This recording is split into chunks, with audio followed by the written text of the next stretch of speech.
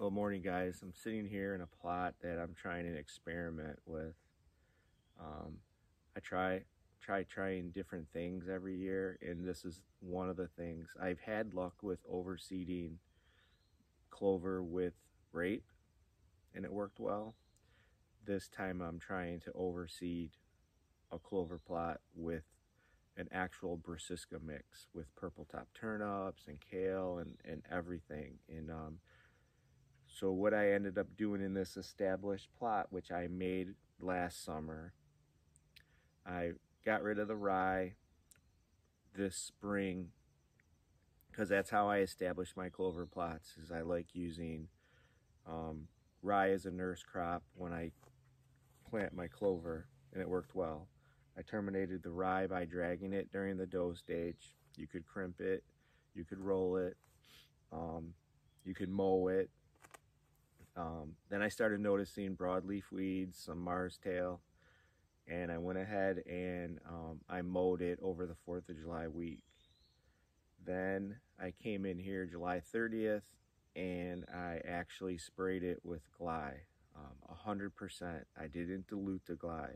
I went with uh, what I normally do, which is uh, three ounces per gallon. Um, so I have a, uh, I put 11 gallons of water and I put a quart of Gly in my ATV sprayer and I sprayed it.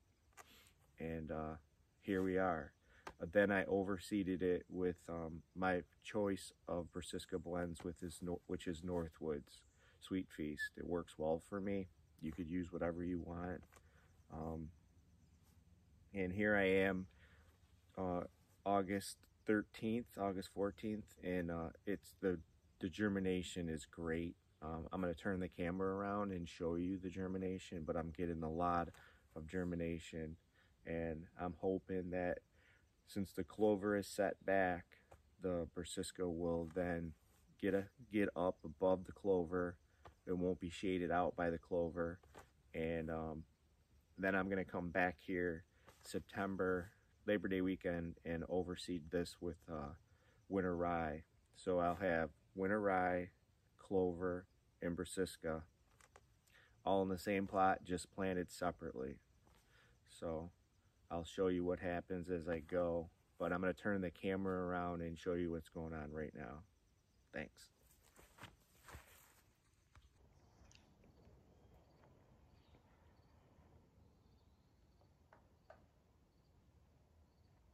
Well, here's the plot.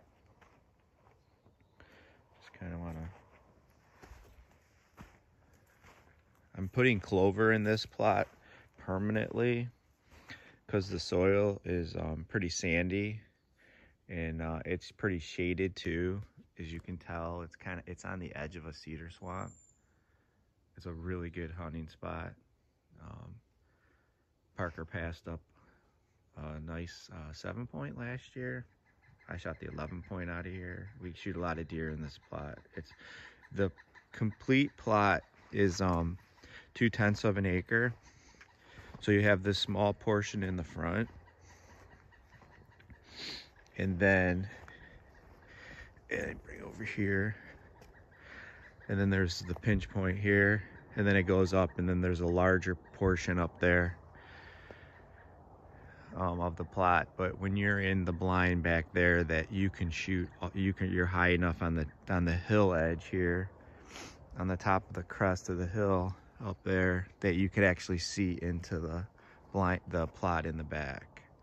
Um, but then this would be any this would be for her with her crossbow. The deer have to come into this section. And um, I'm trying to get the best food that I can in here so that they come in front of her for the middle of this plot's 25 yards. But just want to show you what's going on here and as you can see it's pretty sandy soil. Um, especially right here in this circle right here because what happens is is the sand it just rolls down. It's like all the silt comes down the top of this hill here and you can see it it kind of piles right here. So I'm trying to get some clover established and the sun the lack of sun doesn't help but let's get down in here and see what we got going on. But you can clearly see you got good clover, but if you look in here, you're gonna have, you got the, the, the purple top turnip mix or all the Brassica mix from Northwoods. If you look, it's germinated great. I mean, I know there's probably some people that can't tell the difference between the clover and the Brassica, but right, like right there, that's that's a Brassica. Um, right here, you know, as far as if it's kale or purple top turnips, I'm not that good either. But bring it down in here. Well, here, look at this. You can see where I missed a spot when I sprayed it if you look back here, you can actually see it. You can see the line. It goes like this and goes around and then comes back. That whole section there I missed when I was spraying.